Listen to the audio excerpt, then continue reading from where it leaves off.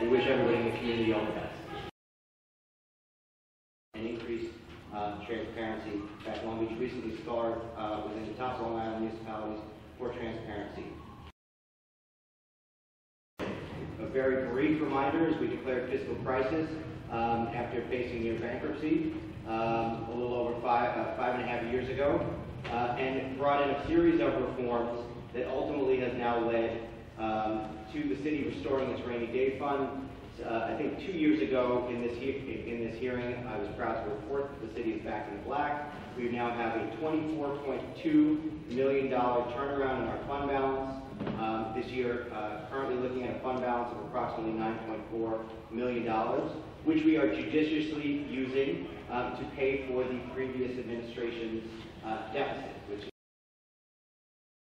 Looking forward, um, we have to continue implementing our long-term fiscal uh, policy, right? Protecting our our fund balance and and a variety of things. The city, uh, city council adopted a long-term financial plan in 2013 uh, with six tenets. No- Number one, structurally sound balanced uh, balanced budgeting. Number two, diversifying and increasing revenues.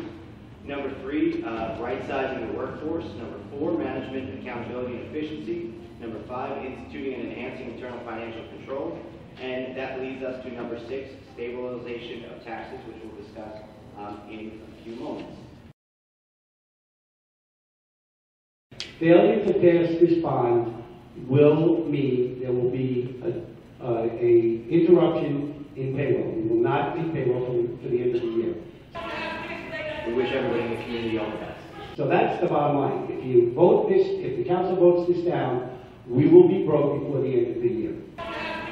We wish everybody in the community all the best.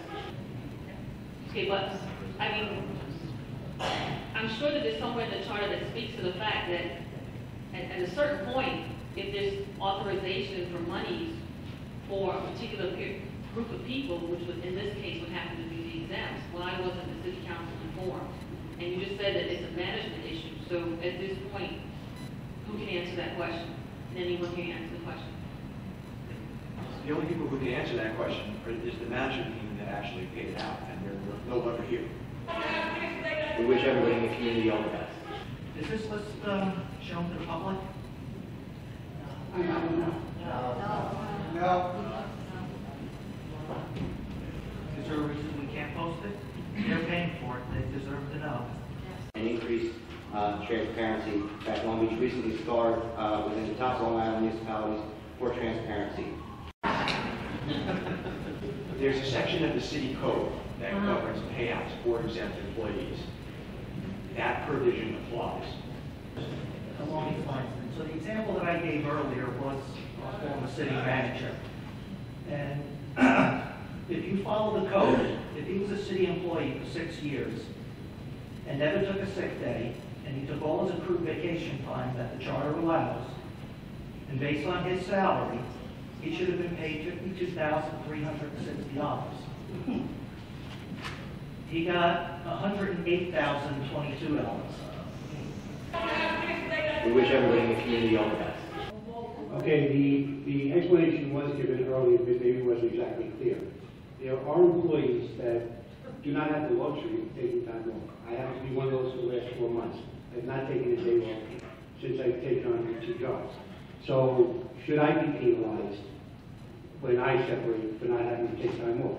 And uh, when you're calculating that, you're using the 50-day maximum formula. I can tell you, as a matter of course, Jack had way more than 50 days of uh, vacation time, or whatever bank you're talking about, just by virtue of the fact that I was appointed as acting city manager, so I had to be noticed whenever he was leaving town or taking vacation, and I think there were three vacations he took in the six years. So that number is way skewed. Okay, so the city, There's a section of the city code that uh-huh. governs payouts for exempt employees. That provision applies. charter does not allow an exempt employee to get comp time. It is clear. The city charter does not allow an exempt employee to have more than 50 days of vacation accrued. If he was paid out at a higher rate, then the city charter was violated. Number four, management, accountability, and efficiency. We wish everybody in the community all the best. Uh, I think two years ago in this, in this hearing, I was proud to report that the city is back in the black. Failure to pass this bond will mean there will be a, uh, a interruption in payroll. We will not be payroll for, the end of the year. We wish everybody in the community all the best. We wish everybody in the community all the best. We wish everybody in the community all the best. We wish everybody in the community all the best. We wish everybody in the community all the best. We wish everybody in the community all the best. We wish everybody in the community all the best.